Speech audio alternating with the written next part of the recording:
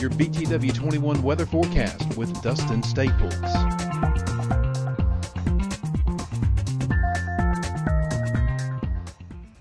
Good afternoon to you. It's Weatherman Dustin Staples here on this Friday, Good Friday that is. So if you're starting your Easter weekend, we got a lot to inform you about as well. It's a beautiful day on this Friday, so get out here and enjoy it. But it will be getting windy this afternoon. We could get close to 70 degrees or so depending on where you're at here in south side or north of the uh, coverage area as well. Colder, cooler, I should say, the west you go. Winds are going to be out there as they continue to be out of the north, southwest, about 5 west northwest, excuse me, at 20 miles per hour at the highest. So nothing in the way of ex extreme wind, but it will be blustery from time to time.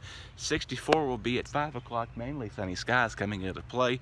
50 degrees by 8 clear skies all night tonight with the temperature getting to near 43 degrees with no rain expected. So that's the plus to this forecast as well. Of course, if you're getting ready to do anything for your Passover forecast, we'll be seeing more in the way of all sunshine. The highest staying near 62 degrees, the low of 42 right there as well. The winds are not going to be a huge factor, but this time they'll be out of the southeast, out of the north east and northwest. Of course, your all-important five-day forecast. We've done pretty much covered two holidays. We've got a couple more on Sunday, Easter Sunday, and April Fools. How about that? Two holidays in one day with a low of 46. Monday is Easter Monday with temperatures staying in the mid-50s. Overnight lows will be staying in the mid-40s right there as well. Clouds will be filtering in with a chance to shower later Monday into early Tuesday morning. Same story, but it will be a little bit warmer as you head towards Tuesday. Overnight highs remaining in the low and mid-70s. Overnight lows in the mid 50. So Easter weekend is looking great.